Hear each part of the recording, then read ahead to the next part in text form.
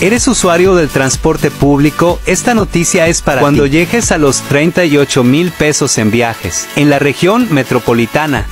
Los siguientes viajes serán gratis, siempre pagando tu pasaje utilizando el código QR que se generará a través de la aplicación Reo Banco Estado dentro de cada mes calendario.